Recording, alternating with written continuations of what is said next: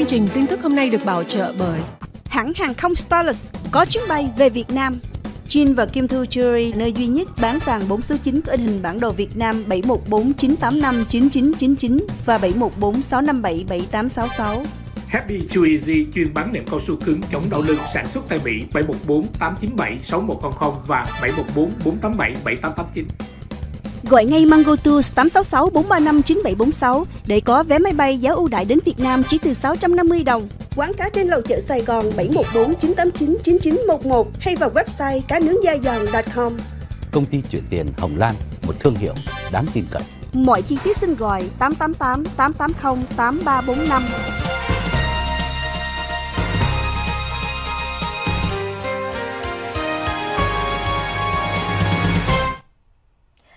Vị, lúc nãy trước phần quảng cáo thì à, chúng tôi đang gửi ra bản tin đó là bà thị trưởng của thành phố Auckland, bà Sang Thao, bà này gốc người Hờ Mông thưa quý vị, à, đang bị các à, activist địa phương đó bây giờ họ đang lập ra một cái chiến dịch để mà truất phế bà. À, tính đến bây giờ họ đã có gần hơn 20.000 chữ ký rồi thì cái lý do vì sao mà bà Sang Thao này bị chính những người dân mà đã từng bỏ phiếu cho bà, bây giờ họ lại muốn truất phế bà thì à, Úc Linh chúng ta không ờ, còn ờ, chúng ta đã biết là một cái thành phố mà một trong những thành phố bị cái vấn nạn về à, người vô gia cư nhiều nhất ở Hoa Kỳ này. Không những vậy mà trong suốt gần 5 năm qua đó, những cái mà tỷ lệ tội phạm trộm cướp rồi trộm cướp vào nhà nó tăng liên tục không có giảm xuống. Và đây là giống như là báo cáo từ các sở cảnh sát ở úc lên họ đưa ra. Đó là à, tỷ lệ tội phạm ở úc lên vào năm 2023 tăng đến 21% so với chỉ một năm trước.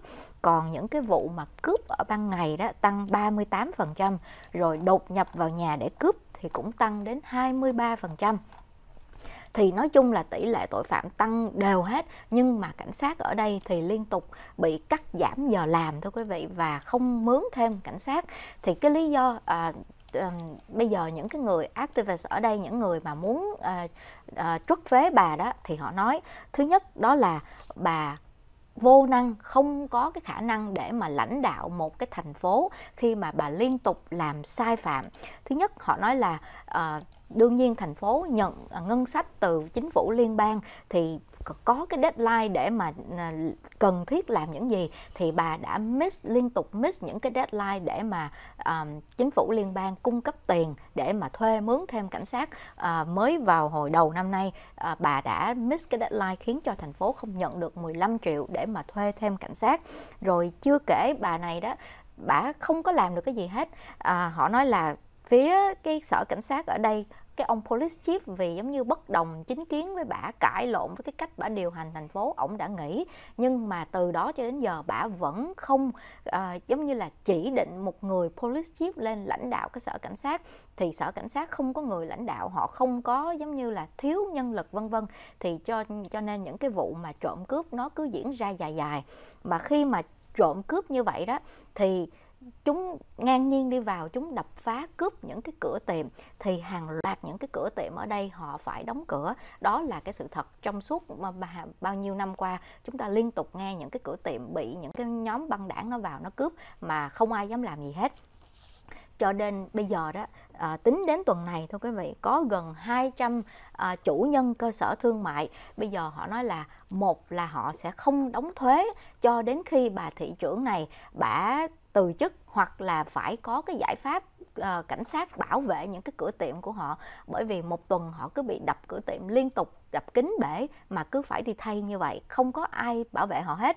Hoặc là có một số những cái cửa tiệm khác thì bây giờ họ nói là họ sẽ uh, không trả tiền rent cho các chủ đất để mà làm áp lực với các chủ đất phải làm áp lực lại với chính quyền của thành phố. Thì nói chung là à, mà khi mà các cửa tiệm họ đóng cửa hàng loạt như vậy từ những cái cửa tiệm lớn cho đến nhỏ Walmart rồi CVS vân vân ở đây họ đã đóng cửa họ bỏ đi mất rồi. Thì những cái chủ tiệm nhỏ lẻ làm sao mà có thể mở cửa tiệm ở đây? Thì bây giờ à, cái chiến dịch mà muốn trút phế bà Sang Thao này đó đến tháng 7 này họ cần phải có 25.000 chữ ký mà chưa gì mới đầu tháng này họ nói là họ đã có hơn 20.000 chữ ký rồi. Và à, một trong những cái người mà lãnh đạo cái chiến dịch rút phế lần này là những người thẩm phán. Họ thấy được những cái gì bà này đang làm. Họ nói là bà này không có còn có cách để mà lãnh đạo cái thành phố này nữa. Sáng nay ông Trump cùng với ba nhân vật từng liên can tới vụ truy tố vụ kiện của quận Fulton ở tiểu bang Georgia nhận được tin vui ít nhất là 6 lệnh truy tố nhắm vào họ đã bị ông quan tòa hủy bỏ. Quan tòa còn rất trẻ, chưa đến 40 nữa. McCarthy đang giữ một cái trọng trách vô cùng quan trọng liên quan tới ông cựu tổng thống, ông uh, cố vấn vào tòa bạch ốc tránh văn phòng tòa bạch ốc McMeadows, rồi ông luật sư John Eastman và kể cả luật sư Rudolph Giuliani của ông Trump nữa. Bốn người này nhận được tin vui sáng nay. À, nói là tin vui thực sự thì vẫn à, chưa hoàn toàn vui lắm bởi vì họ không có được xóa hoàn toàn các tội. Nhưng mà ông Trump có tất cả là 13 tội danh nhắm vào ông truy tố đó. Thì ông tòa nói có 3 tội mà chúng tôi đọc thấy cũng khá là mơ hồ. Và đó là lý do ông quan tòa McCarthy giải thích cái sự mơ hồ và đồng thời ông nói rằng không bên phía um, công tố viên đó khi là đưa ra cái lệnh truy tố này và chúng tôi cũng đọc để gửi đến quý vị đó nó tiếng Anh đó là solicitation of violation of oath by a public officer. Thì nghe rất là mơ hồ. Từ một nhân vật trong chính quyền tức là public officer đã tìm cách liên hệ hoặc là liên lạc với các giới chức của quận Fulton nhằm mục tiêu là đẩy họ phải vi phạm vào những lời thề hứa. Thì cái chuyện này nói nó không có cái gì nó cụ thể, và nhất là cái chuyện mà solicitation.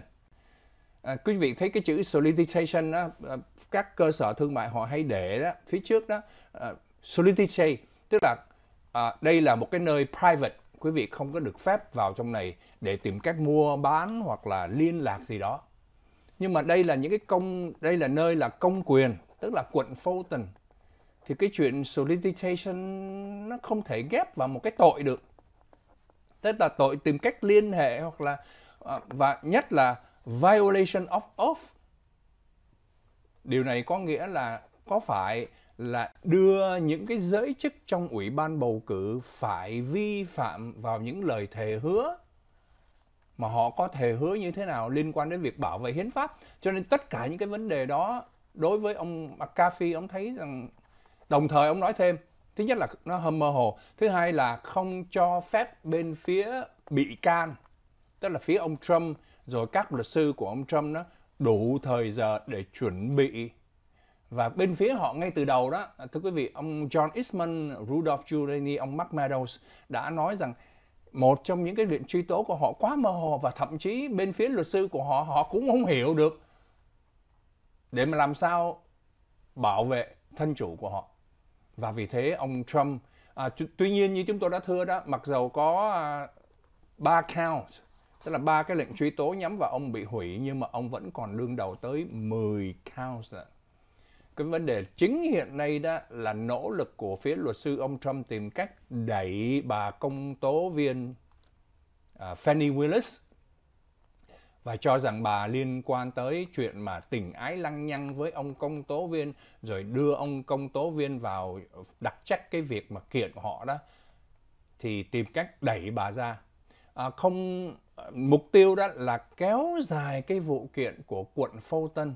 Và chúng ta cũng nhớ là trong thời gian đó một trong những cái tội mà những cái nhân vật này phải đương đầu đó là RICO, tội băng đảng. Bởi vì cùng nhau làm việc chung với nhau gây ảnh hưởng đến kết quả bầu cử của quận Fulton, Fulton mà ông Trump từng gọi đến cho bên phía tiểu bang Georgia đó kêu gọi là tìm kiếm cho ông hơn 11.000 phiếu bầu chỉ một phiếu thắng ông Biden thì à, cái tin tức này mặc dầu được xem là một phần thắng của ông Trump nhưng mà ông vẫn còn tiếp tục à, quan tòa không hủy bỏ các tội danh khác mà luật sư yêu cầu phải bỏ.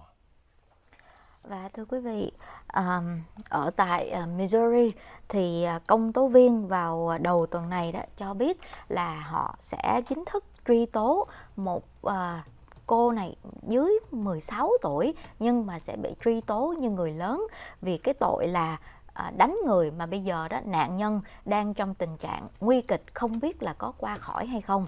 Nếu như mà không qua khỏi thì sẽ bị truy tố thêm cái tội là giết người nữa. Thì cái hình ảnh quý vị thấy đó là xảy ra vào à, thứ sáu tuần trước lúc à, 2 giờ rưỡi trưa ở sau khi mà các em à, học sinh của một cái trường trung học gọi là Hazelwood East High School đó ở nằm ở tại quận à, St. Louis của tiểu bang Missouri.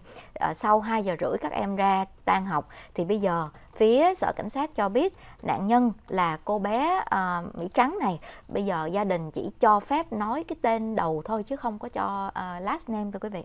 À, chúng tôi sẽ quay lại à, gửi thêm chi tiết về tin tức này sau phần quảng cáo. Kính mời quý vị theo dõi.